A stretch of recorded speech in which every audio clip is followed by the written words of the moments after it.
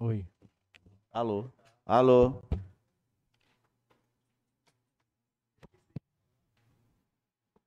Senhor presidente, em nome do qual cumprimento a mesa diretora, caros colegas vereadores, vereadora Jô, a turma aqui do Oeste ao vivo, amigo Carivan, pastor Carlos aqui presente na sessão, enfim, todos, meu amigo Tabaquinha, Almiro, um bom dia a todos.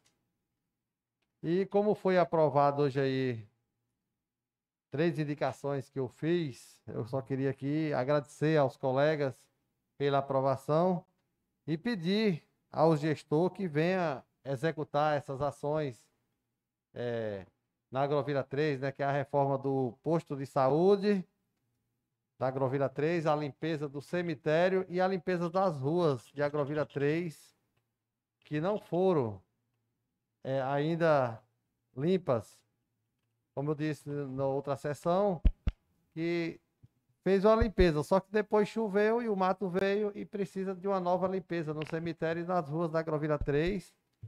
E no posto da Agrovila 3 também ser feito um, uma reforma, porque o, é o PSF, aonde atende ali a. É, tem o comando da Agrovila 1, Pambu, Araçá, Tapera, então esse pessoal tudo é, pelo PSF da Agrovila 3, que tem médico, tem dentista. Então precisa ver com, com bons olhos para atender esse pessoal. Por exemplo, o dentista mesmo atende o pessoal da Agrovila 3, da Agrovila 1, da é, do Pambu Araçá e me parece também que da Agrovila 5 o pessoal vai para ser atendido na Agrovila 3. Então peço ao gestor que venha executar essas indicações. Quero também agradecer a indicação que eu fiz para que fosse patrolado o eixo ímpar, que está sendo feito um pouco de demora, que tem mais de dois meses, mas agradecer que continuou os trabalhos. Hoje as máquinas estão ali entre a Agrovila 3 e a Agrovila 5. E a respeito aqui do, do pessoal de, do SAAI, lembrado aqui pelo vereador Elias, eu quero dizer que também estou disposto.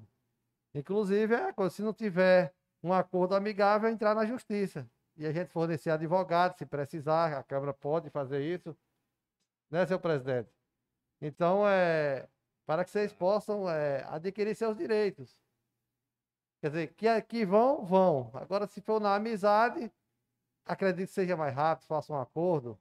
Aí cada um vai ver se é melhor. Mas se não for, é entrar na justiça, que é um direito que, que vocês têm e é, é causa ganha. Agora, o tempo é que talvez na justiça não agrade, né? Porque às vezes demora. Mas é, vamos lutar para que tenha um acordo, e se não houver acordo, é ir para a justiça. Não tem outra alternativa, né? Que vocês não podem ficar de fora.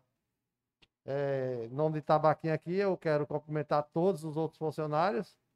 É, eu não sei, quer dizer, eu não sabia, ainda não me procuraram. É, sempre eu vejo, mas ele nunca me falou dessa situação que não teriam sido é, recebidas as verbas rescisórias, né? Que tem direito às indenizatórias. E quero dizer que pode contar comigo, o meu apoio, o que eu puder fazer, estou à disposição.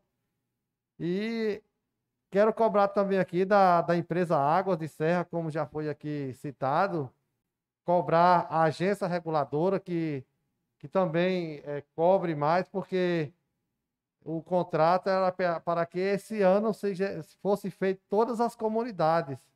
Existem várias comunidades, exemplo ali de Pambu, Araçá, Tapera, não ser contemplada ainda com água doce. Segundo o colega falou que são 20 comunidades. Eu não tenho muita certeza, mas sei de muitas que a águas tem que contemplar. Então, como existe a empresa reguladora, que mostre o serviço também, porque é uma cobrança que tem um contrato que se a, a, a empresa Águas de Serra não é, cumprir com o contrato, esse contrato pode até ser anulado, ser desfeito de acordo com o que está escrito e eles não cumpriram. Então, é um motivo para a gente estar tá cobrando e que o, o, executivo entre também nessa briga, né, que é interessado, para que é, cobre a, a, execução das obras, para que venha atender toda a comunidade de Serra do Ramalho, é, ter água potável.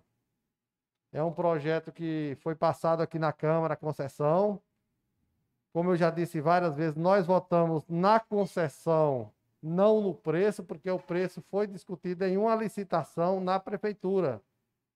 Então, os que os vereadores nós fizemos foi aprovar a concessão para que expandisse a água para as agrovilas, onde não tinha, porque nós sabia que o SAAI era praticamente inoperante, que em mais de 20 anos o SAAI nunca conseguiu colocar água em outra agrovila, a não ser que a sede que administrava. E através da emenda de João Almeida colocou-se água na agrovila 7, então é, o SAAI só administrava, mas não tinha o poder de, de elevar, aumentar essa água. Então a concessão foi nesse intuito de levar água para todos. E nisso nós esperamos que seja feito e contamos aí com o apoio de todas as autoridades. Então, mais uma vez, é, o SAI também é uma autarquia da prefeitura.